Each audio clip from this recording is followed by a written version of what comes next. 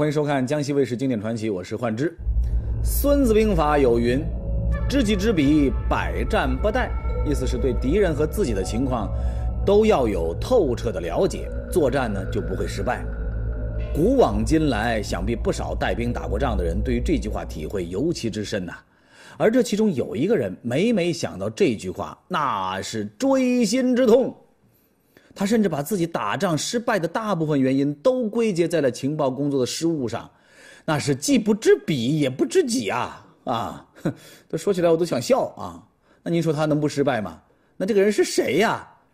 蒋介石，老蒋。那是解放战争后期，蒋介石啊，这是怎么回事呢？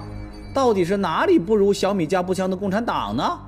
思来想去，他认为情报工作的失误是最关键的原因。那知错就要么，这会儿已经是惊弓之鸟的蒋介石，还敢信任谁呢？他根本就没得选，只能只敢也只想把整个特务系统交到自己的亲生儿子蒋经国手里。可问题是，这个活儿。不是那么简单的活儿啊！蒋经国能拿得下来吗？先跟您简单介绍一下，当时国民党特务系统的情况是这样的：摆在蒋经国面前的有三股势力，第一股是台湾原先最大的情报单位，由彭梦基把持的保安司令部；第二个呢是从大陆过去的，由陈果夫、陈立夫兄弟俩创建的以中统为班底的内政部调查局。第三个呢，就是由戴笠创建的以军统为班底、时下由毛人凤掌门的保密局。在这三股特务势力当中，前两股还好说吧。蒋经国一上台，资历最浅的彭梦基马上就摆出一副识时务的啊态度，向蒋经国靠拢，表忠心。二陈兄弟把持的内政部调查局也不用说呀，蒋经国小蒋的面子可以不给，但是他老爸老蒋的面子得给啊，所以也没有过多的为难蒋经国。那么最后。就只剩下当时实力最为庞大、人员最多的保密局了，而且很显然，掌门人毛人凤并不打算低头俯首就舔鞋。为什么这么说呢？您瞧他在蒋经国上台之后干的事儿就知道了。那是在蒋经国上台才刚两个月的时候，台湾岛内就发生了一件大事儿。说是国民党当局破获了中共台湾省工委会在台湾大学法学院、基隆中学等处的分部，不少负责人被捕。当时蒋经国就敦促啊，保密局局长毛人凤赶紧追查下去。毛人凤当时心想：这还有你命令？这本来就是我的活儿。所以，当毛人凤全力侦办完这个案件之后，他并没有把这个审结报告呈送到蒋经国那儿，也就是压根儿就没拿蒋经国当领导。您要问了，那他是像往常一样直接上报给蒋介石了吗？也没有，啊，这个毛人凤啊，竟然拐了一个大弯儿，把这个报告呈送给了这位陈诚，当时国民党陆军一级上将蒋介石的嫡系心腹。由于他的言行举止跟蒋介石很像，所以素有“小蒋介石”之称。蒋介石曾经评价他：忠正不可一日无辞修。啊，这个辞修指的就是陈诚。那毛人凤把报告递给他是为什么呢？显然是有着自己的小九九的。怎么说呢？毛人凤心里边一直都不服气，自己对蒋介石是卖血卖力，好不容易干到今天。你说让你儿子出山就出山，那我这么多年不是白干了吗？你应该交给我呀！意思就是说，哈，所以他就想通过这种方式越级递交报告，来表达自己想换主子。要报岛内地位仅次于蒋介石的二号人物陈诚的大腿，那对抗蒋介石是不敢说的，可是借着陈诚的事对抗对抗小蒋蒋经国，那还是绰绰有余的。当然，这是他个人的想法。那么毛人凤的小九九得逞了没有呢？很可惜，用一句“偷鸡不成蚀把米”是再合适不过了。在接到毛人凤的报告之后，陈诚想都没想，立即批复，要同时呈于总统，也就是蒋介石，请求复核。您瞧瞧，大腿没抱上就算了，还让人看了笑话，连着整个军统上下都跟着丢了回人。得，毛人凤和蒋经国暗暗较劲的第一回合，蒋经国还没出手呢，毛人凤就输了。输在哪儿呢？毛人凤也不是没反思，这个事儿啊，让他突然顿悟：这蒋经国不管身居何职，不管有无实权，人家毕竟是太子啊，不能明面上对着干。嘿，嘿，我的天哪，你这才明白过来呀？哈，真是替这个毛憨憨着急呀！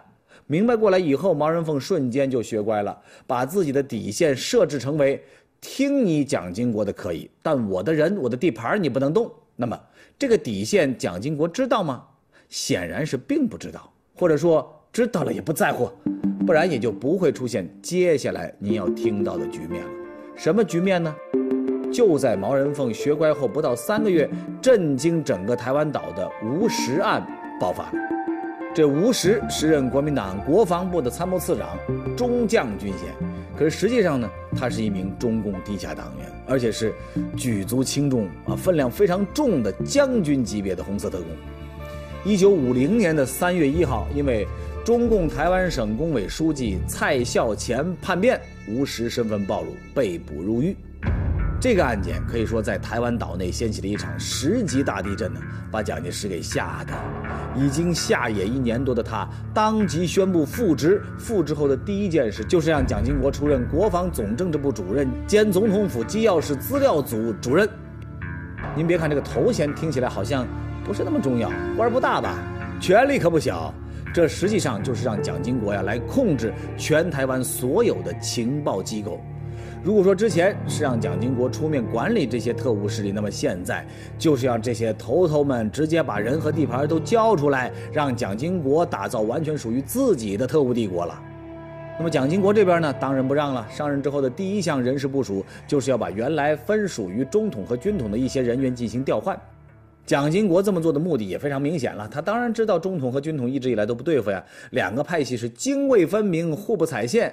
这也是当年他老爸老蒋啊有意安排的局面，让两派呢是相互竞争牵制，他好掌控嘛。可是现在呢，蒋经国想要掌握实权，就必须打破这个框架。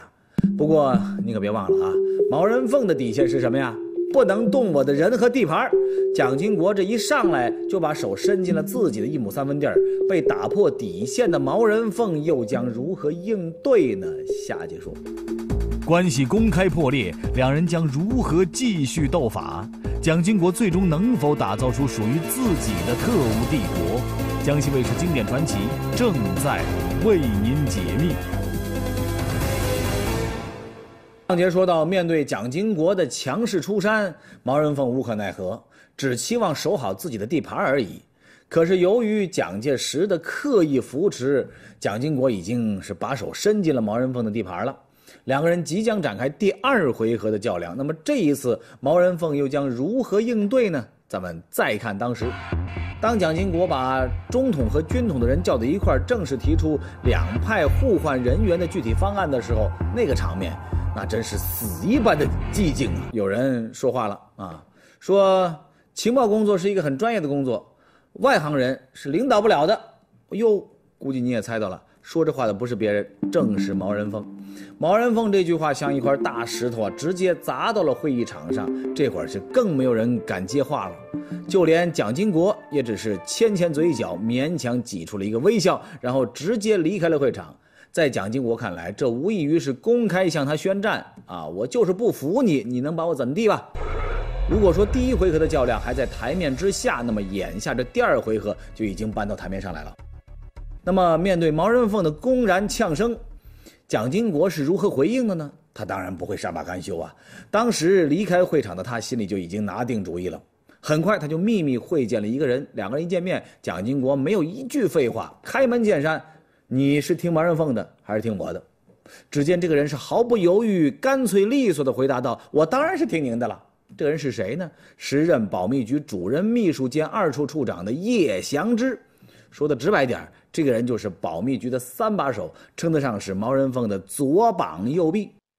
这要说的更直白一点呢，其实论业务能力，叶祥之不比毛人凤差呀。甚至有人说，谈特务工作，叶祥之是戴笠之后第一人。可是这样一个人，在保密局里边，竟然始终屈居第三位。您想想看，他对毛人凤能没有怨气吗？您再想想，带着这份怨气的他，碰上想打掉毛人凤势力的蒋经国，那简直是瞌睡碰上枕头，正合适啊。不过你可别忘了，毛人凤是干什么的？叶祥之投靠蒋经国这件事情能够瞒得过他吗？两个人基本上是前脚刚碰上，毛人凤后脚就得到了消息。好你个叶祥之，看我回来怎么收拾你！那么怎么收拾呢？毛人凤还没想好。可就在他正想着的时候，又发生了一件让他措手不及的事儿。前头咱们不是提到军统破获了台湾省工委案吗？当时毛人凤还准备拿这份啊功劳去抱陈诚的大腿，是不是？其实这个案子是叶祥之破的，这会儿该论功行赏了。蒋介石就让相关部门呢给叶祥之颁发奖状，奖状送到保密局的时候，刚巧叶祥之不在，所以奖状呢大家伙都看见了，不仅看见了，还看出不对劲的地方。怎么呢？叶祥之当时的职务是副主任秘书，可是奖状上却明明白白写着“保密局副局长叶祥之”。这“副局长”三个字儿。让大伙儿开始认定蒋介石这是要提拔叶祥之为副局长了。看来叶祥之取毛人凤而代之，只是时间上的问题了。那么，事实上老蒋有这个意思吗？并没有。说来可笑，这真的就是一个笔误啊。可是看到奖状的毛人凤，那心急如焚呐，哪里还顾得上品？细品，细细品呐。赶紧把收拾叶祥之的事情提上了议事日程，可是要办叶祥之，你得有个由头吧，不能直接把人薅下来吧？要说这事也巧了，毛人凤正愁没有由头，由头送上门来，说是叶祥之手下有一个海上行动队，队长呢叫做江胜三。当年国民党败退台湾之际，保密局给这个江胜三发了一批金条，让他在韩国设立一个针对大陆的情报站。结果谁知道江胜三呢，把金条给私吞了。您瞧，这老蒋手底下都是什么人呢？他能不失败吗？话说回来，私吞金条的江胜三害怕事情暴露，就让自己的副队长拿了一些金条去孝敬上司叶祥之。可是谁知道这个送金条的副队长心里边就不平衡了。哦。你们都拿大头，让我拿小头，这不公平啊！这个江胜三这个时候心里呢，一心想搞定上司，你一个副队长有你的就不错了，是不是？你还嫌少，岂有此理！那么这个副队长呢，眼看着江胜三呢不可能再多分给自己了，一气之下把这事儿啊捅给毛人凤了。毛人凤一听，那叫一个兴奋呐！赶紧的，给我把江胜三给我抓来，我要亲自审问，非要这个江胜三亲口承认叶祥之也参与到其中不可。结果毛人凤是万万没想到，江胜三嘴还挺硬，讲义气，是死都不肯供出叶祥之来，这可把毛人凤给气坏了，那只能成全了江胜三啊，把他毙了。人是毙了，可是气儿没消啊！好不容易抓到的把柄，难道就这样算了吗？不行，越想越憋屈的毛人凤赶紧又整理了一份关于保密局二处处长叶祥之贪污的材料，亲自递到了蒋介石的面前。按说，毛人凤大义灭亲啊，亲自来揭露下属的贪腐罪行，应该啊遭到表扬才是啊啊！当然，遭到表扬语法上是不对的，但是现在流行这么用啊，他应该遭到表扬。可是蒋介石没当回事儿。不仅不说处罚叶祥之的事儿，还随便两句话就把毛人凤给打发走了。这一下，毛人凤慌了。看样子叶祥之投靠了蒋经国，蒋介石是不会动他了。如此一来，自己的地位岌岌可危啊！那我还能怎么办呢？气急败坏的毛人凤决定来满党啊，直接把人拿下，家法处置。你还别说，那个叶祥之啊，挺机灵。他一早就发现自己处境不妙，干脆就躲进了蒋经国的八胜园别墅里了。这八胜园别墅是蒋介石特批给蒋经国的，不光是蒋经国生活吃住的地方，还是以蒋经国为首的国民党情报机构所在地。那么这么个地方，给毛人凤十个胆子，他也不敢冲进去抓人。不过毛人凤当然不是吃素的，他派人死死盯着这个八胜园。你叶祥之还能一辈子当缩头乌龟不出来吗？只要你敢露头，立马给你逮走。毛人凤这个架势，蒋经国怎么可能听之任之呢？赶紧跑到自己老爸面前替叶祥之说好话。一来二去的，在蒋经国的保举之下，蒋介石不仅免除了叶祥之所有的罪名，还直接命令毛人凤把你的人给撤了，不准再追究了。你说毛人凤这个哑巴亏吃的，这跟蒋经国较劲的第二个回合，损失了一员大将不说，还让原本铁板一块的保密局开始松动了起来，又输了。第二次败下阵来的毛人凤开始痛定思痛，是痛何如哉呀！哈，那看来一味跟蒋介石啊，跟蒋经国吧，跟小蒋蒋经国较劲，蒋经国背后又站着他老爸蒋介石嘛，对不对？呃，自己的赢面不大。那么，眼下最重要的应该是增加自己的筹码呀，让自己在蒋公那里无可替代才行啊！想到这儿，毛人凤这回是总算真正的回过神来了。对呀。只要我在蒋公那里无可替代，那就算是有十个蒋经国，又能奈我何？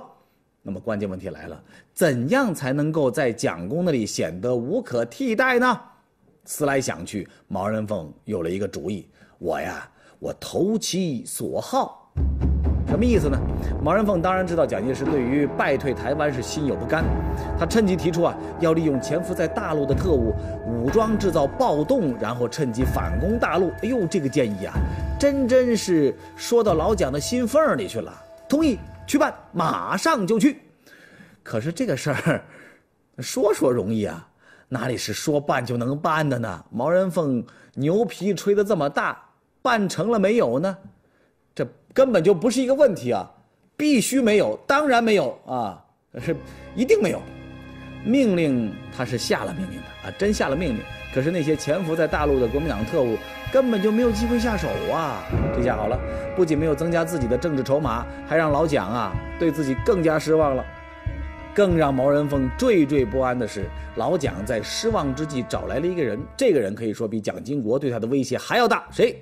时任国防部参谋次长的郑介民，其实啊，最早戴笠出事之后呢，接手军统的人就是郑介民。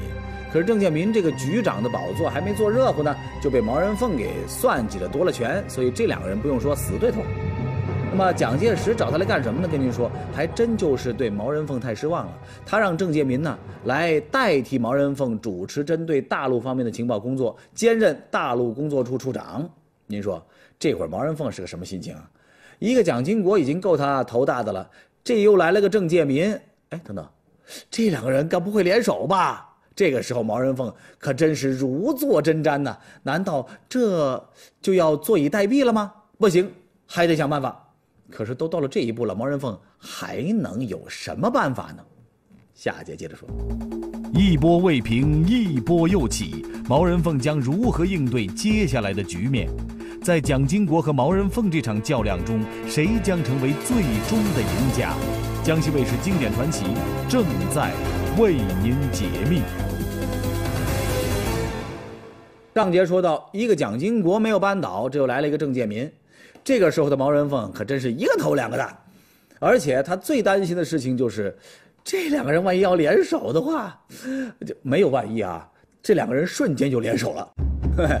毛人凤和郑介民之间的矛盾人尽皆知，蒋经国怎么可能不利用这样的机会呢？所谓敌人的敌人就是朋友啊！啊，这朋友我蒋经国是交定了。这个局面让毛人凤是彻底是傻了眼了。两个对头联手，老大蒋介石又对自己失望，陈诚的大腿也抱不上，横竖感觉自己啊，那都是秋后的蚂蚱，蹦跶不了两天了。人常说绝处能够逢生啊，没有退路的毛人凤这会儿想到了一个人，这个人或许能够帮帮自己，谁呢？说起来大名鼎鼎，蒋介石的夫人宋美龄啊。对民国历史稍有了解的观众或许知道，宋美龄和继子蒋经国之间的关系十分微妙。早在1948年8月，蒋介石为了挽救崩溃的经济局面，曾让蒋经国以经济督导员的名义赶赴上海整顿经济。那个时候的蒋经国雄心万丈啊，很快就揪出了 孔祥熙的儿子孔令侃。那么这个孔祥熙什么人呢？宋美龄的亲姐夫。这事儿他能不管吗？孔令侃他表兄弟啊，是不是？赶紧出面力压，事情呢最终不了了之，这可就导致了宋美龄和蒋经国之间出现了局域了。毛人凤对这事儿门清，所以这会儿呢，毛人凤就希望能够借宋美龄的权势来庇护自己。哎，这招不得不说，表面上看起来是真的高啊，而且也确如他所愿。宋美龄呢，确实也替他开了口，什么中统、军统互换人员、改革情报系统等等方案，通通暂缓。毛人凤总算是能够喘口气儿了。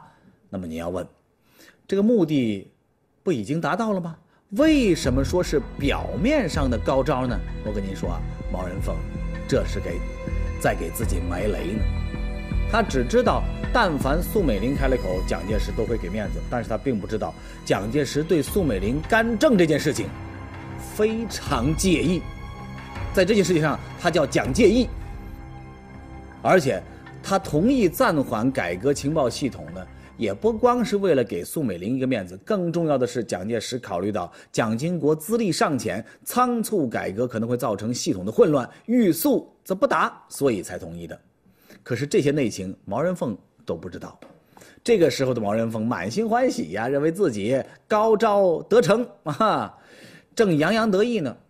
而且他准备乘胜追击，想办法先打垮郑介民，给蒋经国一点颜色瞧瞧。你还别说，这个功夫真的是不负有心人。毛人凤费尽心思，总算是追查到了郑介民在担任保密局局长的时候，曾经利用职务之便收受贿赂。而且来到台湾之后也没有收敛，利用手中的权力变本加厉的，以各种方式敛财。掌握了这些情况的毛人凤马不停蹄，赶紧就把证据交给了蒋介石。蒋介石看了之后气不打一处来，又把蒋经国叫了过来，证据往桌上一甩，说拿去给我彻查这个案子。这不巧了吗？这不是，蒋经国和郑介民已经联手了呀。他怎么会查自己人呢？拿到这些证据的蒋经国原封不动地交给了郑介民，你自己看看吧。想怎么解决？这会儿的郑建民呢，来回踱着步，在房间里边肺都要气炸了啊！顶我自己的肺啊，是吧？当年就把我从局长位置上给整下去了，现在故技重施是吧？你给我等着啊！毛人凤很快，郑建民也找到了毛人凤手下杜长城的贪污证据，而且郑建民是万万没想到。本来查毛人凤只是想报复一下，让毛人凤收敛一点的，可是谁知道在查杜长城贪腐案的时候，竟然还顺藤摸到了一个大瓜，一举扳倒了毛人凤。哎，这事儿要好好说说啊！原来这个杜长城啊是毛人凤的心腹大将，眼看着毛人凤处境越来越艰难，为了替自己的老大排忧解难，他想到了一个自认为万无一失的高招，什么呢？说出来你恐怕都难以置信。绑架太子蒋经国，哎呦我的天哪！他的计划是这样的：假意绑架蒋经国，然后再由毛人凤出面把人救出来。这样呢，一方面显示蒋经国不够资格做情报机构的负责人，毕竟他连自己都保护不了嘛，是不是？另外一方面呢，也能够让老大在蒋介石面前邀功嘛，这一举两得，一箭双雕，一石二鸟啊！总之是高招当中的高招。嗯，耶。那么这招是不是真的高？能不能够达到预期的效果，咱们不得而知。毕竟杜长城还没有实施呢，这个所谓的高招就因为贪腐案一并暴露了。哎呀，那话是怎么说的呀？不怕神一样的对手，就怕猪一样的队友啊！毛人凤能有杜长城这样的忠诚的队友，真的是一个字，绝啊！接下来的事情呢，就不用换之我多说了。蒋介石很快就收到了这起尚未实施的绑架案的相关材料。哎呦，这个气呀！他是怎么都想不明白，军统这样一个为他蒋家服务的家奴是哪来的胆子，对自己的主子动这样的心思？涉案人员通通给我毙了！事情到了这一步，毛人凤十分清楚，大势已去，自己是已经完全失掉了蒋介石的信任。怕是永无翻身之日了。换句话来说，老蒋啊，没直接让他蹲大狱啊，把他撤下来，已经是念及旧情了。一九五四年十月，蒋经国着手改革特务系统，建立安全局，用来统筹全部情报工作。与此同时，把毛人凤所在的保密局改成了情报局。虽然还是由毛人凤担任局长，可是他的权力已经不可同日而语了。蒋经国和毛人凤这场恩怨较量就这样落下了帷幕。从那之后呢，蒋经国踏踏实实的当上了台湾五万特工人员的领导，成为了台湾当局当时的特工之王。啊，好，这个故事就讲完了。今天节目就到这儿。呃，关注栏目的官方抖音号和微信公众号“江西卫视经典传奇”，扫描屏幕下方的二维码啊，您不仅可以观看往期精彩视频，还可以参加各种线上线下活动。咱们下期节目再见。